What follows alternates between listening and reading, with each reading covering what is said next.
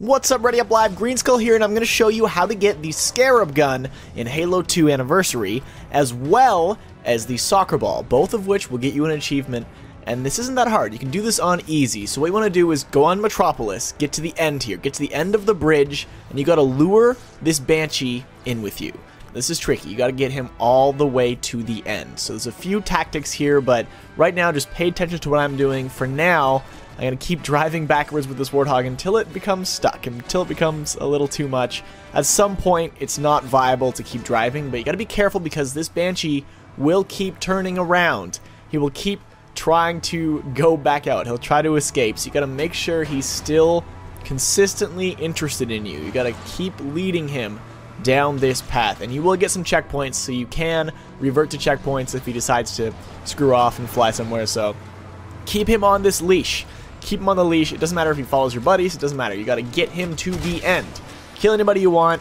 Kill your Marines. Make sure they do not kill this Banshee. So make sure you don't have any buddies that want to shoot at it.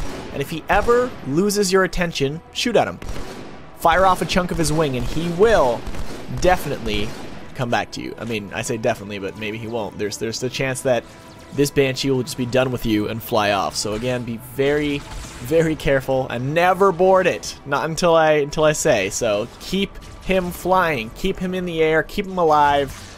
Do what you want other than that. Just make sure you lead him in. And again, this is a lot easier on easy than it is another thing. So he's trying to run away again. So I'm going to shoot him in the wing, break it off a bit. Now he's mad again.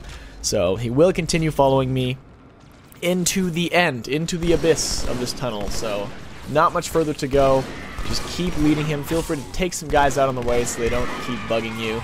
But every time he catches up, for the most part, he will turn around. So if as long as you see him behind you, is, you have a better chance of him following you.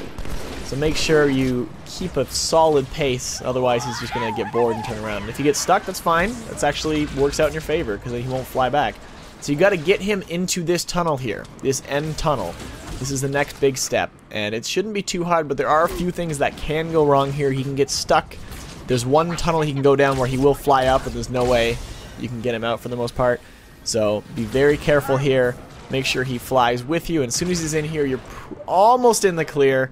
He can get stuck again, like he will run into things, but you know, just move around and he will likely follow you. Maybe you can melee him sometimes, you can push him around, but make sure, see where I'm at right now is actually where you don't want him. I kind of I kind of messed that up. I, I went to the wrong tunnel. So I almost screw up here. This is where it can go wrong, is the tunnel I'm currently in. So I don't even notice this until the last minute. But if you, when I turn around, you'll see exactly what I'm talking about. This is not the tunnel we want to be in. But he will kind of get stuck like this. And that's really not a bad thing. That's okay. Again, you can you can work with it. So see, I'm like, oh, this isn't the right place. So what happens is he can fly up there and then you're done. He's not coming back down. So luckily I did not mess up here and I can melee him to push him out. I'm very lucky I could continue doing this. So that tunnel bad. Don't follow me and go into that tunnel. It's the left tunnel, not that tunnel. Don't go in there again because if he goes in there right now like that, it could be all over. So make sure you keep his attention. He comes after you. This is the tunnel you want. And here's what's going to happen right when you hit a loading. Right when you hit the loading, you need to hijack him. Right at the second. So as I walk into this tunnel, I will hit that loading zone. And again, hijack right away. Otherwise, it's all over. So they're loading, board. As soon as you see loading, hit that board button. Success. I got it. Otherwise, you could blow up, things will go wrong, it'll disappear, etc. But I did it successfully. There you go, you got a Banshee. Step two, fly. You just gotta fly up. Fly upwards. So there's these two elongated bridge building things up here, and it's on one of them. The Scarab gun is resting, floating above a little pylon on top of this one. I just gotta fly to it. Just get up there. So just keep flying towards it.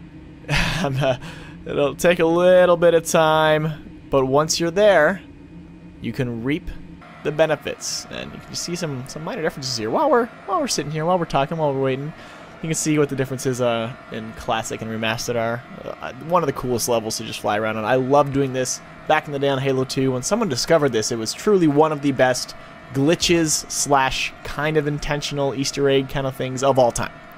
Of all time. Prove me wrong. The Scarab gun and how you get there is not one of the best things ever. So that was actually the wrong bridge. So it's this one. So look on both. You can see it. There's a little black thing there. That's it. Sitting right in the middle. This is the Scarab gun. Sitting there, floating on top of this pylon. All you need to do is wield it, and do not shoot near yourself, because you will, you will hurt yourself. This is a tool of power. And you get the achievement as soon as you pick it up. There you go.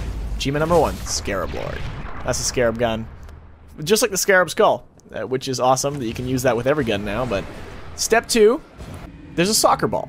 And by shooting it, you get an achievement. So follow where I'm going here. You want to turn off the bridge here out into the water, and you'll see this is the direction of that dome, that half dome you came in before. But there's a building I'm flying towards right now that has a hole in it. There's a broken section right underneath me, the one I'm pointing at right now. That's where you want to go. The soccer ball is inside here. So simply fly down to it. Easy as that. You can actually get here other ways, but might as well do it two in one. Two birds, one stone. Get the scarab gun. Fly down here. You can shoot it with anything. Just shoot it with the Banshee, and an achievement will unlock. Goal achievement's about to happen. So shoot it. Boom. Achievement coming up. Done. Two achievements. Easy, easy peasy. And, uh, I like how it makes like screeching sounds when you when you knock it, and uh, that's it. That's, that's all that's all there is. That's all there is to it. So hopefully this helped you out, guys. Be sure to smack that like button if you appreciate this content. And check out my other guides. I have a ton of achievement guides for you guys. Some really awesome stuff. I'm really glad I had the opportunity to, to figure this stuff out before the game was out. So, I mean, guess we all knew how to do these. I guess a lot of us knew how to how to do these ones. Because uh, old school Halo. So thanks for watching, and I'll see you guys next video.